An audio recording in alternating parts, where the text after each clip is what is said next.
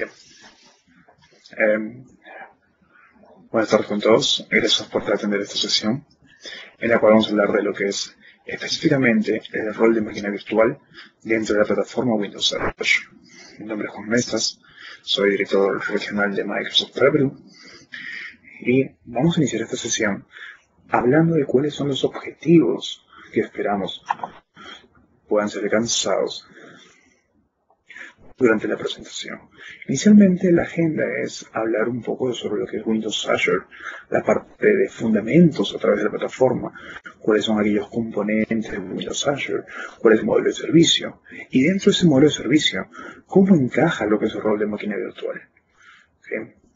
Y dando una solución end-to-end para la implementación de una máquina virtual, pasando por los principales patrones y escenarios de, de uso de este tipo de rol, okay, de este realmente nuevo tipo de rol dentro de la plataforma, viendo sus, las mejores prácticas, el manejo del estado y finalmente los principales patrones de despliegue alrededor de la plataforma Windows Azure para lo que es específicamente el VM.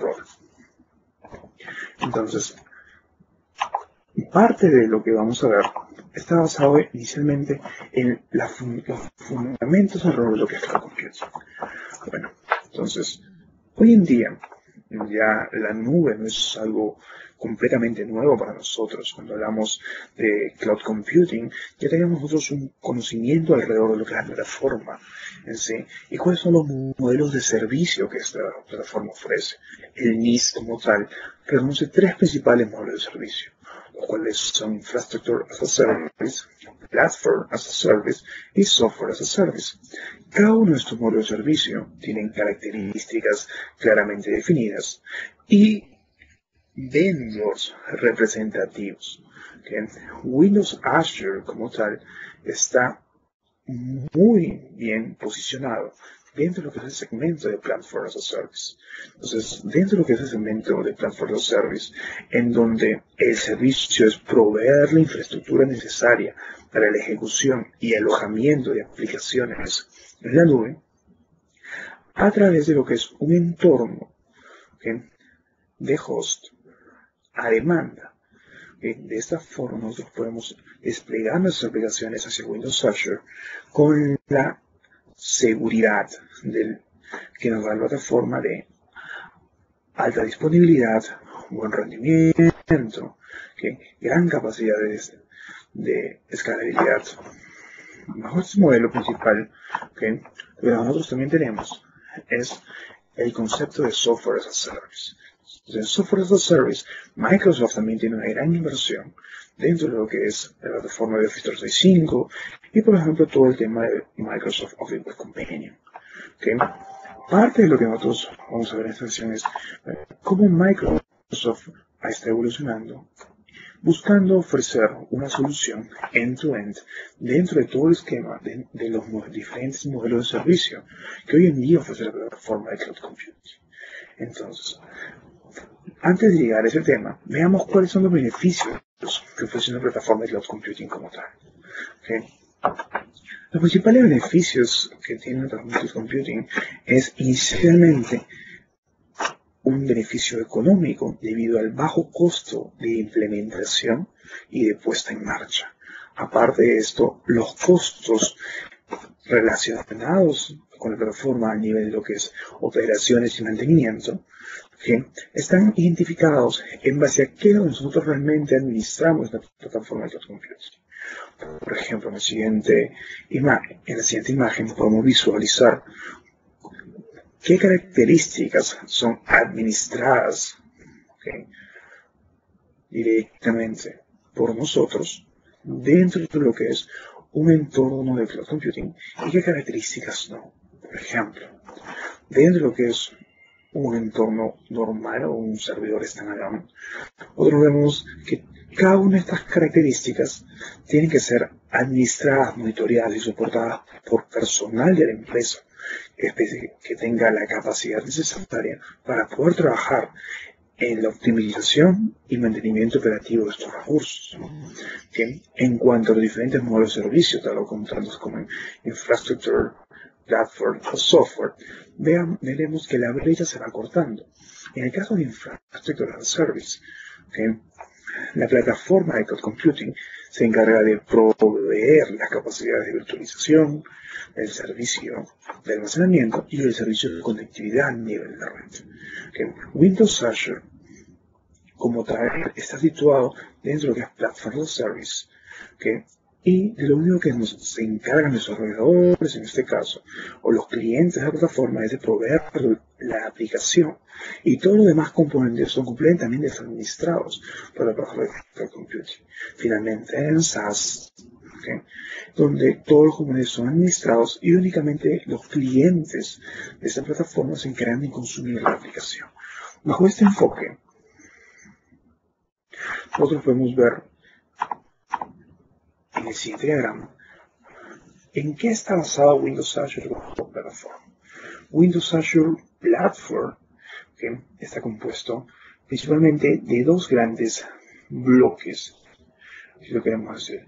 Todos los bloques basados en lo que es Windows Azure, en los cuales incluyen Windows Azure como sistema operativo, Windows Azure Application Fabric, y finalmente también se incluye lo que es Microsoft SQL Azure.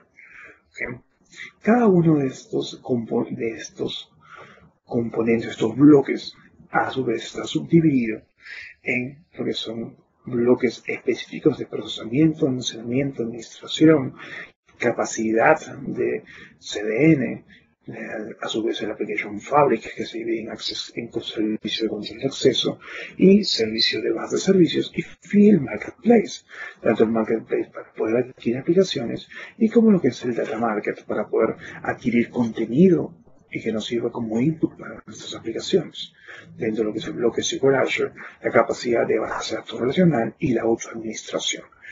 Entonces, esta plataforma permite el uso de lo que son diferentes lenguajes de propósito general. En estos lenguajes de propósito general, nosotros podemos incluir tanto los que son los lenguajes soportados por la plataforma.net, así como lo que es Python, Ruby, Java y PHP. Actualmente existen diferentes plugins para poder utilizar Eclipse como IDE y automáticamente realizar aplicaciones que puedan ser desplegadas dentro de lo que es Windows Azure. Entonces, bajo este esquema, nosotros podemos ver cuáles son los componentes en sí de lo que es Windows Azure como plataforma. Bajo este modelo, los componentes técnicos de Windows Azure vendría a ser a nivel de lo que son aplicaciones basadas en el modelo de servicios, Dentro de lo que es el entorno de ejecución, la capacidad de ejecutar aplicaciones basadas en el framework 3.5, 4, ASP.NET o PHP, el sistema operativo de la máquina virtual que nos provee la plataforma está en Server 2008 o 2008 2.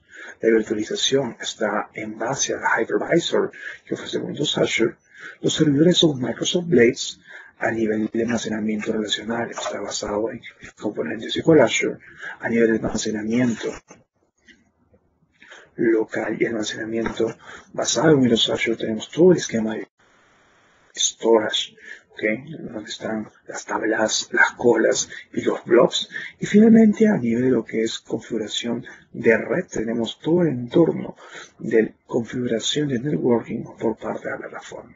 Entonces, cada uno de estos componentes que estamos viendo son provistos dentro del esquema de Windows Azure como plataforma para las aplicaciones que son alojadas y desplegadas en nuestro esquema. Entonces, bajo este modelo, la plataforma de aplicaciones para Windows Azure tiene seis características principales. Primero, que de forma consistente maneja las actualizaciones a nivel de lo que es sistema operativo, sin afectar las aplicaciones. Así también de forma consistente y automatizada manejar los cambios producidos por nuevo despliegue de aplicaciones o por nuevas características agregadas a esas aplicaciones, ofrecer la capacidad de realizar escalamiento horizontal, así como la administración de múltiples instancias de nuestra aplicación.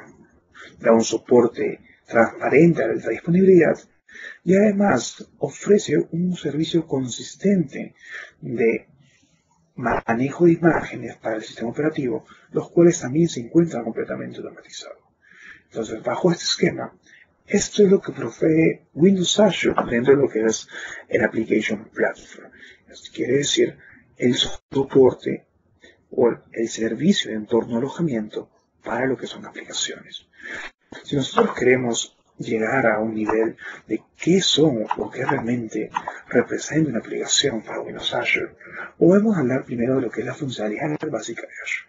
la funcionalidad básica de Azure está en tres grandes bloques. Un bloque puede ser el manejo de configuración y despliegue, otro bloque de operaciones y finalmente un bloque de disponibilidad. Entonces, a nivel de lo que es el bloque de configuración y despliegue, podemos hablar del soporte para el, manejo de certificados, soporte para lo que es el manejo de endpoints públicos que tienen, que tienen ya un soporte nativo a una configuración de balance de carga y además soporte para lo que es el manejo de endpoints internos y capacidad de descubrimiento de ellos entre los diferentes componentes de nuestra aplicación o entre diferentes aplicaciones alojadas en nuestra cuenta. A nivel de operaciones, podemos manejar todo el tema de administración de acceso vía lo que es escritorio remoto, la capacidad de manejo de actualización automática tanto a nivel sistema operativo como en torno a ejecución de aplicaciones y el soporte para actualizaciones coordinadas con los diferentes clientes. Y dentro de disponibilidad, el servicio, lo que es monitoreo de salud constante de nuestras aplicaciones y la garantía en base a un contrato que el cual es presentado por el SLA, en cual define cuáles son los tiempos comprometidos de disponibilidad que ofrece la plataforma hacia nosotros. Entonces, bajo este esquema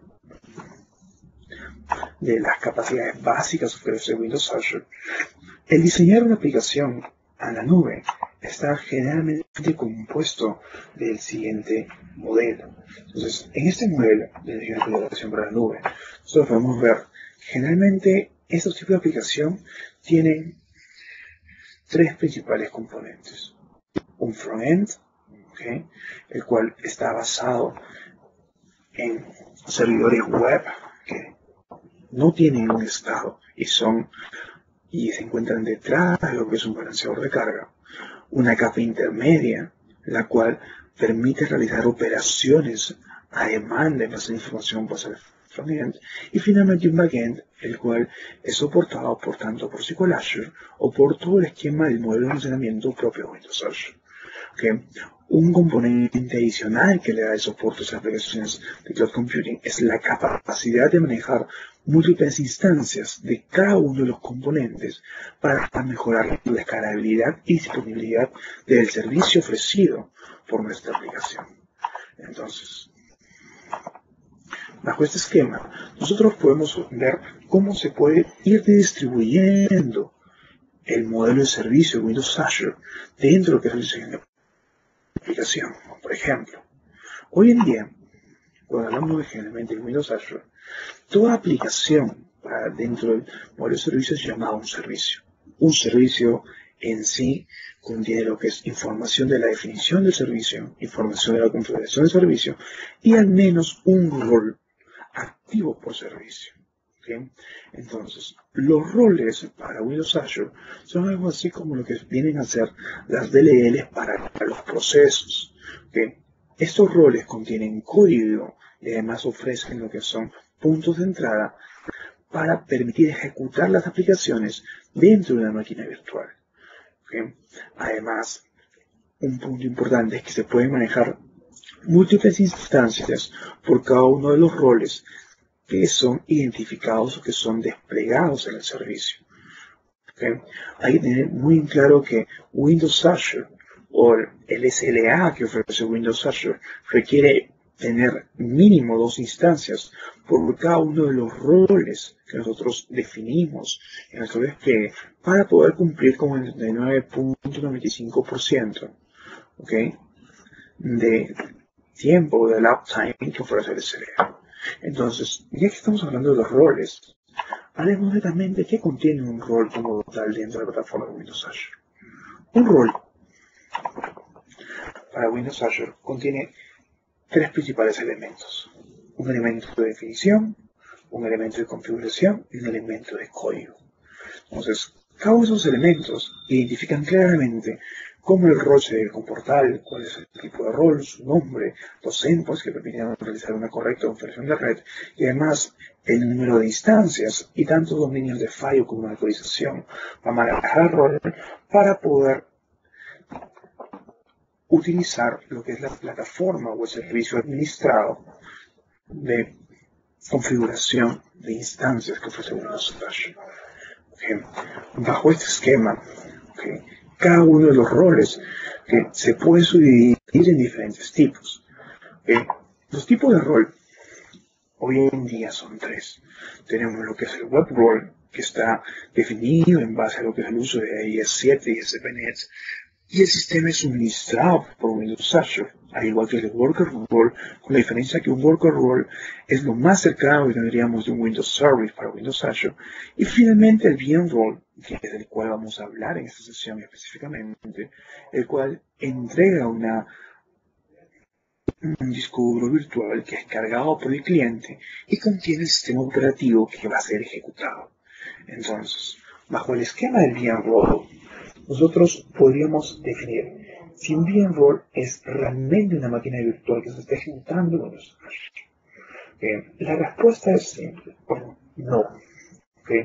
Y la justificación es porque los VMwares en sí son stateless. ¿Qué quiere decir esto? Que el estado o todos los cambios, modificaciones que estamos haciendo a nivel del VMware como tal, no es almacenado directamente en nuestra copia, o nuestro VHD que hemos cargado, sino tiene un proceso de actualización y de, manejo de imágenes, el cual comentaremos más adelante. Entonces, ¿cuáles son los principales escenarios del VMroll como tal? Un VMroll es generalmente muy usado dentro de lo que es el uso de aplicaciones con un largo proceso de instalación, aplicaciones que tengan que realizar instalación manual o aplicaciones que tengan que instalar componentes que sean frágiles, quiere decir que tengan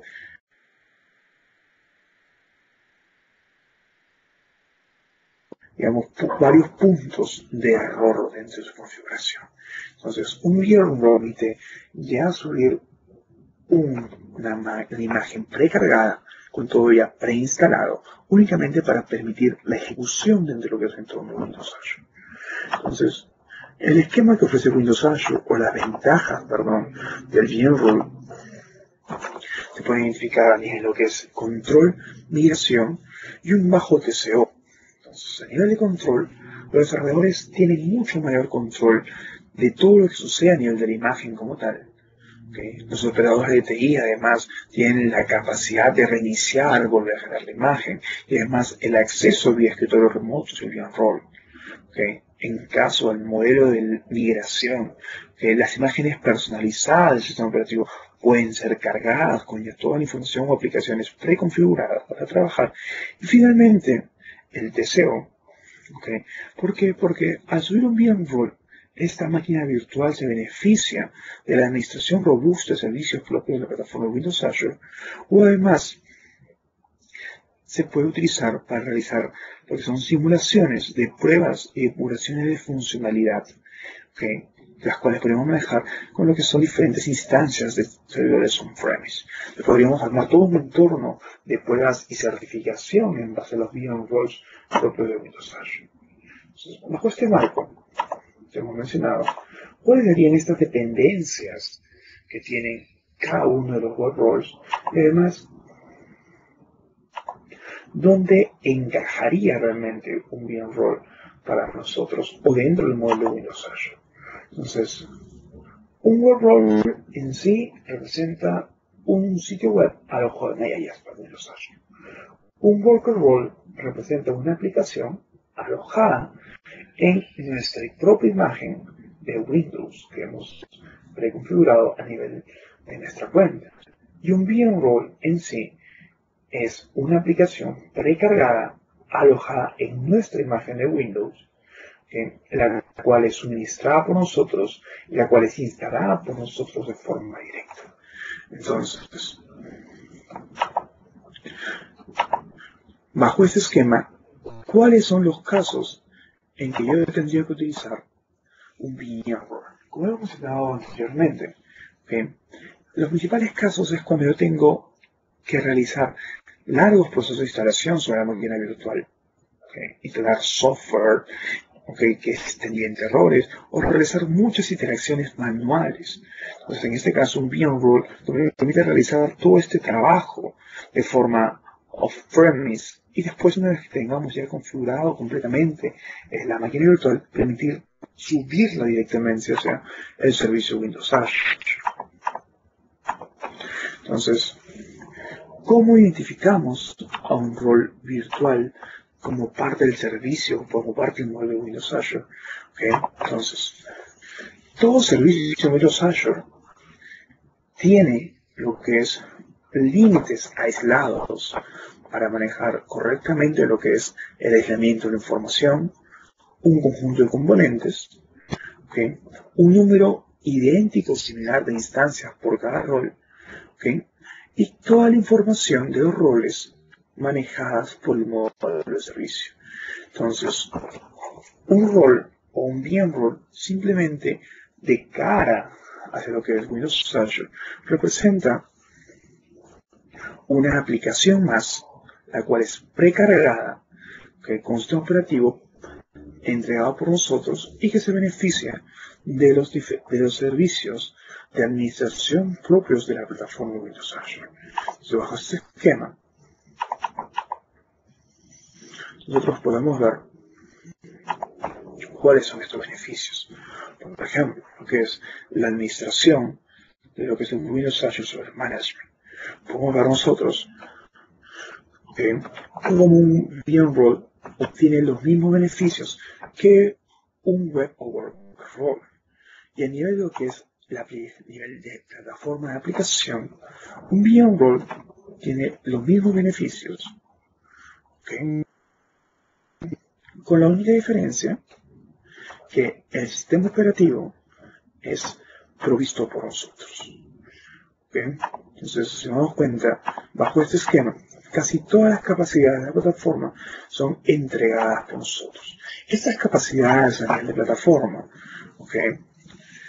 son o forman base de un contrato que tenemos con lo que es Windows Azure. Entonces, Windows Azure nos indica cuáles son las capacidades que ofrece y si son compatibles con VMware.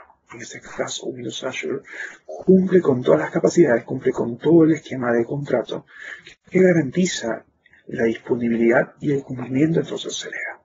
Hay que tener claro también que no todas las aplicaciones que nosotros manejemos van a poder ser fácilmente migradas o utilizadas dentro de un esquema de un VMware. Bajo este marco, nosotros podemos recalcar cuál es el ciclo de vida que corresponde a cada uno de los roles de máquina virtual. Realmente el ciclo de vida está definido en seis pasos. Primero la construcción de la imagen, la creación del servicio, la prueba local, la carga de imagen, el despliegue del servicio, el mantenimiento del servicio y finalmente la actualización o upgrade del servicio, el cual consta de la repetición de todos los pasos arriba mencionados. Entonces, un VMroll, y nosotros queremos ver el proceso, está basado en Windows Server 2008 R2, el cual va a ser contenido en un VHD sobre el cual vamos a crear nosotros un VHD bootable. Vamos además a aplicar los parches necesarios de Windows. Vamos sobre esto a aplicar o a instalar nuestras aplicaciones personalizadas. Vamos también a manejar lo que son los componentes de integración Windows Azure. Y una vez que tengamos esto, vamos a realizar un sysprep para poder sacar cuál es el diferenciador desde la base hacia nuestra copia personalizada. Bajo este esquema, una vez que tengamos esto, va a ser desplegado hacia Windows Azure y los roles son así manejados y entregados a nivel de lo que es el servicio de almacenamiento de Windows Azure Web Block Storage. Entonces, estas imágenes son desplegadas, tanto lo que es la base como el diferencial, en una o más instancias para el servicio Windows Azure. Como podemos ver, los pasos de generación de lo que son los roles de la máquina virtual son pasos bastante sencillos. Es importante tener en cuenta que finalmente lo que es una máquina virtual es desplegado sobre block storage y está conformado por lo que es un page blob. Entonces, si vamos a hacer un breve recorrido paso a paso por lo que son los diferentes componentes de acceso de Windows Azure, podemos ver nosotros que es primero la creación del servicio y la definición del servicio. Bajo este esquema de definición del servicio es muy importante. ¿Por qué? Porque permite definir cómo es que vamos a manejar nosotros el tamaño de la máquina virtual, así como además todos los módulos que va a permitir conectarse o trabajar con esta máquina virtual. Por ejemplo, el módulo de acceso remoto, el módulo de diagnóstico. Sobre esto, también es importante tener en cuenta cómo acceder desde lo que es el portal que estamos manejando hacia nuestro rol. Podemos ver nosotros ahí que tenemos nuestro servicio llamado Maincage, el cual es una instancia de la máquina virtual totalmente identificada en el portal y ofrece el servicio de reboot o reinicio o el servicio de regeneración de la imagen, el cual está basado en la información que nosotros subimos nosotros tanto a nivel base o el diferencial. Y también tiene la capacidad de manejar los servicios de Connect para el tema de el acceso vía escritorio remoto. Entonces, como hemos visto, este esquema de uso VMware ofrece a su vez diferentes patrones de despliegue. Entonces, estos patrones de despliegue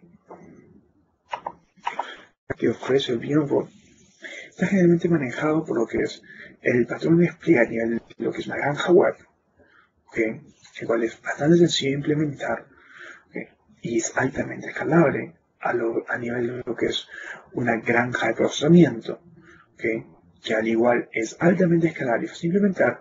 Y finalmente lo que es un esquema de clustered.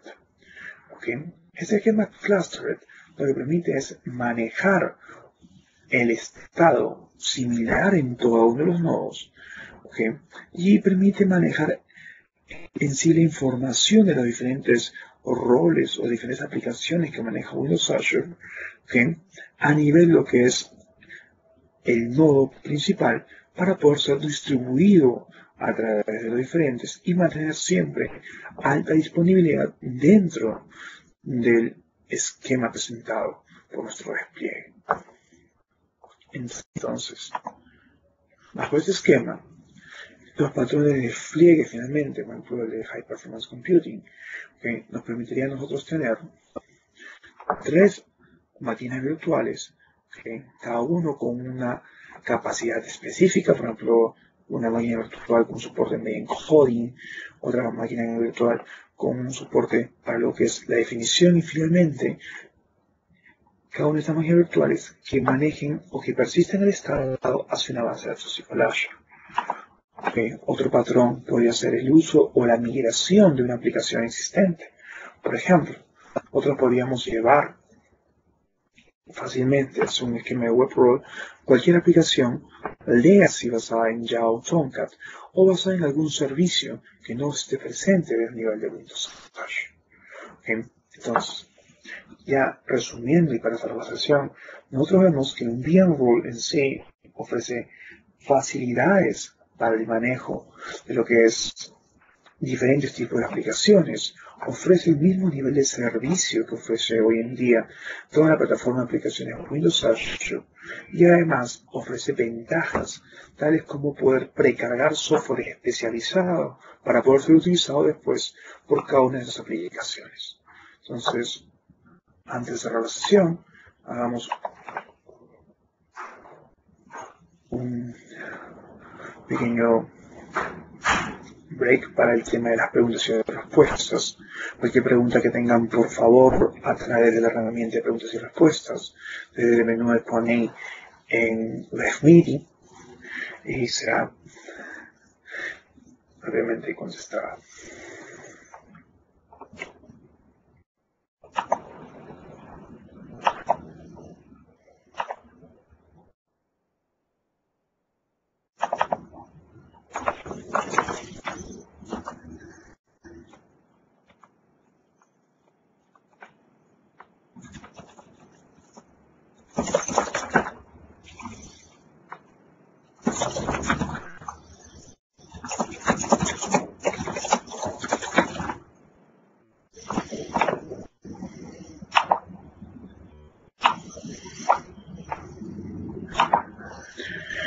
Entonces,